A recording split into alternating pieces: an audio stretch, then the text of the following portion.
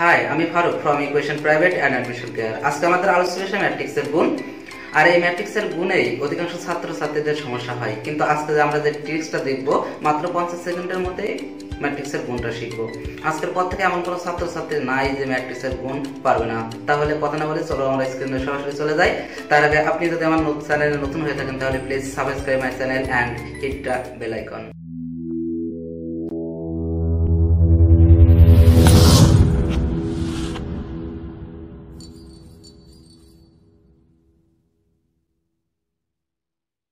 টেকনিকের মাধ্যমে আমি তোমাদেরকে এই ম্যাট্রিক্সের গুণটা দেখাবো। সেটা হচ্ছে সম্পূর্ণ ব্যতিক্রম এবং এটা আমার নিজস্ব তৈরি। এটার মাধ্যমে তুমি ম্যাট্রিক্সের গুণের বস হয়ে যাবে। অর্থাৎ এটাকে ফলো করলে তুমি এমন কোনো ম্যাট্রিক্সের গুণ নাই যে করতে পারবে না। এবং অন্যদের যদি দশ মিনিট টাইম লাগে, সেক্ষেত্রে তোমার টাইম লাগবে মাত্র দুই থেকে তিন মিনিট। ওকে কথা না বলে তাহলে আমরা শুরু করি। তাহলে এখানে আমরা দেখতে পাচ্ছি, এ একটি ম্যাট্রিক্স যার ভুক্ত আছে টু ওয়ান এবং বি একটি ম্যাট্রিক্স যার ভুক্ত আছে one four minus two five এবং জিরো মাইনাস থ্রি অর্থাৎ এ ম্যাট্রিক্সে দুইটি কলাম আছে এবং বি ম্যাট্রিক্সে তিনটি কলাম আছে। এখন আমরা নির্ণয় করব এ বি অর্থাৎ এখান থেকে নির্ণয় করতে হবে এ বিটা অর্থাৎ ম্যাট্রিক্সের গুণ।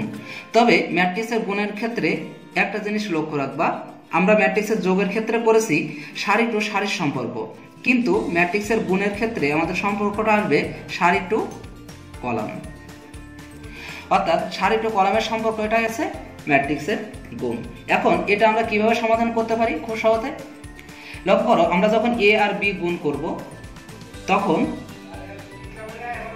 টু ওয়ান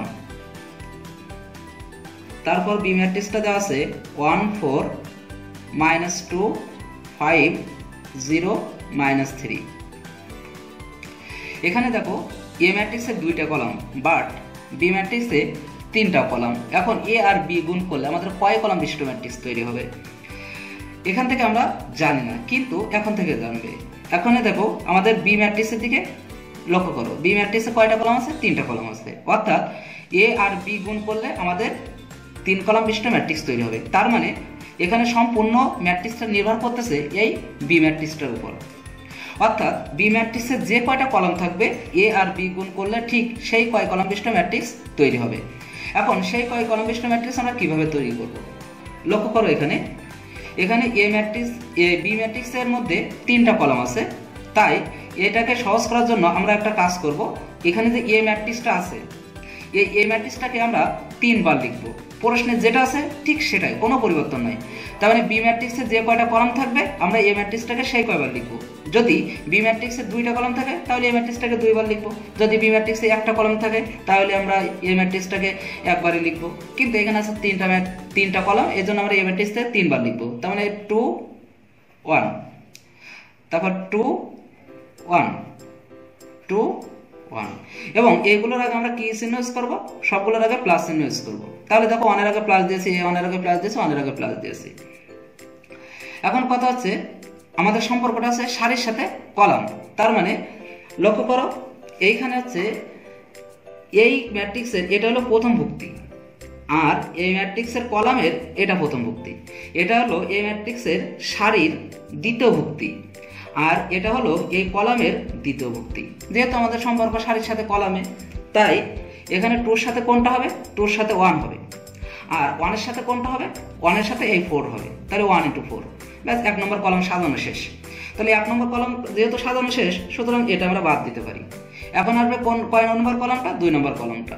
তাহলে এটা হচ্ছে প্রথম ভুক্তি, এটা হচ্ছে প্রথম ভুক্তি, এটা দ্বিতীয় ভুক্তি, এটা দ্বিতীয় ভুক্তি। তার মানে টুর সাথে যাবে মাইনাস টু এবং ওয়ানের সাথে আসবে এই যে ফাইভ তাহলে দ্বিতীয় কলমটার কাজও শেষ। এখন আমরা আসব তিন নম্বর কলমে। অর্থাৎ তিন নম্বর কলম কি আছে? জিরো আর মাইনাস থ্রি তার মানে টুর সাথে আসবে জিরো আর ওয়ানের সাথে আসবে মাইনাস থ্রি ব্যাস আমরা এখন কি করলাম? ম্যাট্রিক্সটাকে ক্লোজ করে দিলাম। তাহলে এখানে আসলো two plus four minus four plus five আর এখানে আসলো জিরো মাইনাস থ্রি ব্যাস।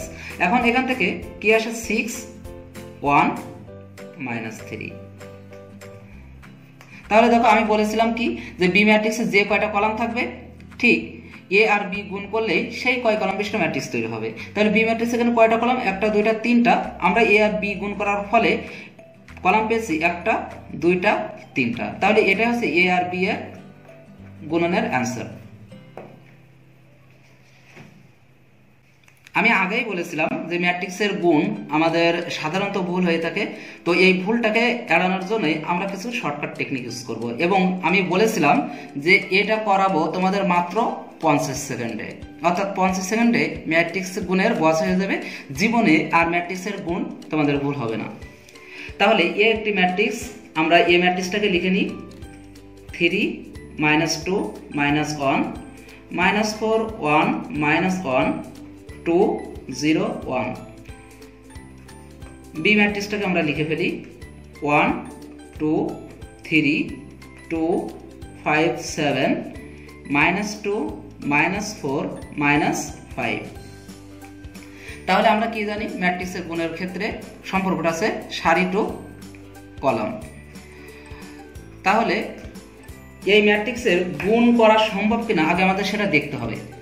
যেহেতু সম্পর্কটা আছে সারির সাথে কলামে তার মানে এ ম্যাট্রিক্সের সারিতে যে কয়টা ভুক্তি থাকবে বি ম্যাট্রিক্সের কলামে ঠিক সেই কয়টা ভুক্তি থাকতে হবে। এ ম্যাট্রিক্সের সারিতে এখানে তিনটি ভুক্তি আছে, তার মানে বি ম্যাট্রিক্সের কলামে এখানে তিনটি ভুক্তি থাকতে হবে। দেখো এখানে তিনটি ভুক্তি আছে। তার মানে এ ম্যাট্রিক্সের গুণ করা সম্ভব। অর্থাৎ এ, বি নির্ণয় করা সম্ভব। যদি এখানে তিনটা থাকতো, কিন্তু এখানে দুইটা থাকতো, সেক্ষেত্রে আমরা গুণ করতে পারতাম না। এখন আমরা গুণ করে ফেলি। এটার জন্য আমরা পূর্বেই বলেছি সরি এখানে বিটা বাদ পড়ে গেছে। এখানে এ আর বি আমরা গুণ করব। তো আমরা বলেছিলাম যে এ এ আর বি গুণ করলে কয় কলাম বিশিষ্ট ম্যাট্রিক্স তৈরি হবে? আমরা দেখতেছি যে এ আর বি গুণ করলে এখানে তিন কলাম বিশিষ্ট ম্যাট্রিক্স তৈরি হবে। কারণ আমি পূর্বে বলেছি যে বি ম্যাট্রিক্সের যে কয়টা কলাম থাকবে, এ আর বি গুণ করলে ঠিক সেই কয় কলাম বিশিষ্ট ম্যাট্রিক্স তৈরি হবে। তাহলে এখানে রয়েছে কি? বি ম্যাট্রিক্সের তিনটে কলাম, তার মানে তিনটে কলাম হবে। এখন বি ম্যাট্রিক্সের উপর নির্ভর করবে আমার কয় কলাম বিশিষ্ট ম্যাট্রিক্স তৈরি হবে। এখন বি কলাম, বি ম্যাট্রিক্সের উপর লক্ষ্য রেখেই আমি এ ম্যাট্রিক্সটাকে সেই কয়বার লিখব। তাহলে বি ম্যাট্রিক্স যেহেতু তিনটা কলাম আছে, তাই এ ম্যাট্রিক্সটাকে কয়বার লিখব? তিনবার লিখব। এ ম্যাট্রিক্স ওখানে যা আছে, ঠিক ওইটাই আমরা তিনবার লিখব।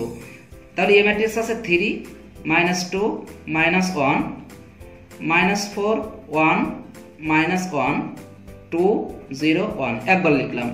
অনুরূপভাবে আরও একবার লিখব। Three minus two minus one minus four one minus one two zero one তাহলে দুইবার হলো। এখন আর একবার লিখতে হবে। Three minus two minus one minus four one minus one two zero one ম্যাট্রিক্সটাকে আমরা ক্লোজ করে দিলাম। এবং এর আগে সবগুলোর আগে কি চিহ্ন ইউজ করব আমরা? প্লাস চিহ্ন ইউজ করব। অর্থাৎ এর আগে প্লাস সবগুলোর আগে আমরা প্লাস সাইন ইউজ করব। এখানে আছে এটাও প্লাস হবে। প্লাস প্লাস এখানে plus plus plus plus plus. এখন এটা আমাদের জন্য খুবই সহজ হয়ে যাবে। দেখো আমি সহজভাবে দেখাচ্ছি তোমাদের। তাহলে এখানে এই যে বি ম্যাট্রিক্সটা তিনবার ছিল বিধায়। তিনটা কলম ছিল বিধায় আমরা এই ম্যাট্রিক্সটা তিনবার লিখছি। এখন তোমাদের যেটা হয়, সেটা হচ্ছে এই ভুক্তিগুলো উল্টোপাল্টা হয়ে যায় এবং তোমাদের স্যারেরাও যেভাবে দেখায় যে এটার সাথে এটা, এই মাইনাস ফোরের সাথে টু এবং টুর সাথে থ্রি তারপর মাইনাস টুর সাথে টু আবার ওয়ানের সাথে টু তারপর জিরোর সাথে থ্রি এরকমভাবে মানে শেখায় যাতে তোমার মাথাটা নষ্টই হয় সেই ব্যবস্থাই করবে স্যারেরা। কিন্তু আজকের পর আমি তো বলেই দিয়েছি, আজকের পর থেকে তোমাদের ম্যাট্রিক্সের সমস্যা হবে না। এক্ষেত্রে যেটা করবা, দেখো আমরা কাজ করতেছি কলাম ওয়ানের যখন আমরা কলাম ওয়ানের কাজ করব, তখন এই কলাম ওয়ানের কাজটা হবে। যখন আমরা এই এক নম্বর কলামের কাজটা করব, এই এক নম্বর কলামে যখন কাজটা করব, তখন এই দুইটা কলাম অ্যাবসেন্ট থাকবে। এবং আমাদের সম্পর্কটা আছে এই সারির সাথে এই কলামটা যাবে। তার মানে থ্রির সাথে আসবে ওয়ান থ্রি ইন্টু ওয়ান আসলো। তারপর এই দ্বিতীয় ভক্তি কি আছে? মাইনাস ফোর এখানে দ্বিতীয় ভক্তি আছে টু তাহলে মাইনাস ফোরের সাথে আসবে টু আর এখানে তৃতীয় ভুক্তি আছে টু আর এখানে তৃতীয় ভুক্তি আছে থ্রি তার মানে টুর সাথে আসবে থ্রি এখন, পরবর্তীতে বারবার এটা, এটার সাথে এটা, এটার সাথে এটা, এটার সাথে এটা এটা করার কোনো দরকার নেই। এবার যেটা করতে হবে, কোনো কিছুর দিকে আর লক্ষ্য করব না। লক্ষ্য করব এইদিকেই উপরে দেখো ওয়ান আছে টু আছে, আর থ্রি আছে, যেটা আমরা এই কলাম থেকে পেয়েছি। কি করবা? জাস্ট উপরে যে মানটা পেয়েছ, সেই মানটা এখানে বসাই দেবা। সেই মানটা আমরা এখানে বসাই দিলাম। তাহলে এখানে থ্রি দিলাম, এখানে থ্রি দেখো, এখানে আমরা প্রথম ওয়ান নিয়েছিলাম টু নিয়েছিলাম থ্রি নিয়েছিলাম। তাহলে ওয়ান বরাবর ওয়ান নামিয়ে দিয়েছি টু বরাবর টু দিয়েছি এবং থ্রি বরাবর থ্রি দিয়েছি। ব্যাস, এক নম্বর কলামের কাজ শেষ, এখানটারও কাজ শেষ। এখন আমরা কাজ করব এই দুই নম্বর কলামটার। যেহেতু এই দুই নম্বর কলামটার কাজ করতেছি, সুতরাং এইটা অ্যাক্টিভ থাকবে, বাকি দুটো অ্যাবসেন্ট তাহলে এই থ্রির সাথে আসবে কোনটা? টু ফোরের সাথে আসবে আছে ফাইভ এবং টুর সাথে আসবে সেভেন তাহলে আমরা আর কোনো কিছু লক্ষ্য করব না। উপরে যেহেতু টু আছে, তাহলে এখানে টু আসবে, এখানে টু আসবে।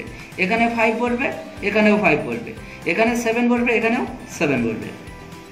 তাহলে দুই নম্বর কলমেরও কাজ শেষ। এখন আসবে তিন নম্বর কলম। তাহলে তিন নম্বর কলম কি আছে? Minus two minus four minus five তার মানে এখানে আসবে কি? মাইনাস টু তারপর কি আসবে? মাইনাস ফোর তারপর কি আসবে?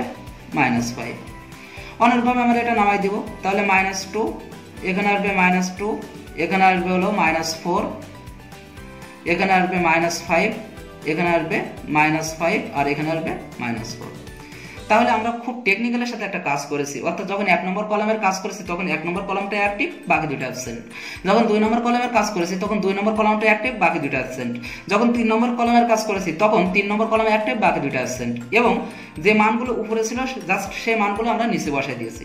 ব্যাস, তোমাদের জন্য এটা খুবই ইজিলি হয়ে গেল। এখন কি করব, আমরা এটা গুণ করব।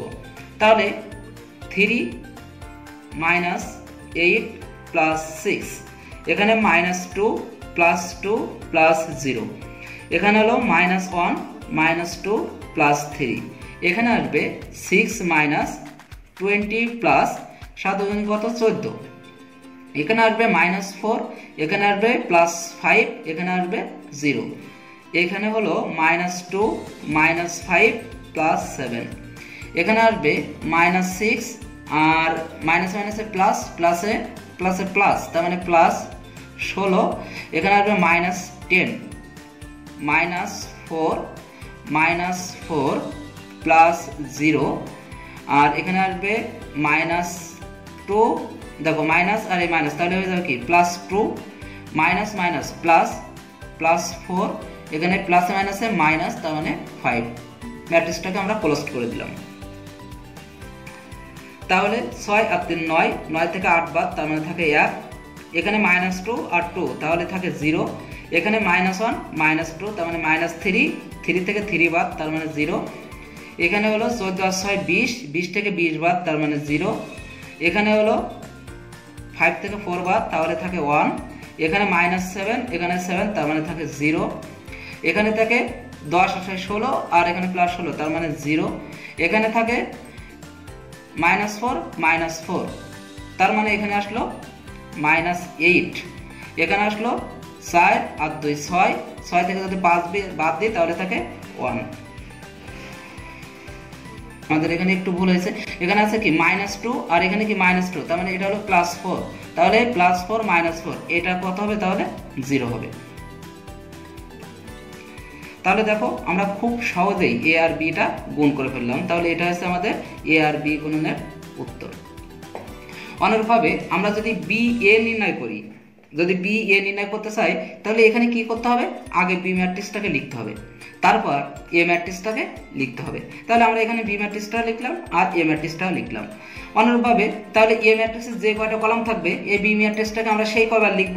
তারপর প্রথম কলমের কাজ করব, দ্বিতীয় কলমের কাজ করব এবং তৃতীয় কলমের কাজ করব। কাজ করার পরে আমরা যে ফলাফলটা পাইব, সেটাই হবে বি এ এর আনসার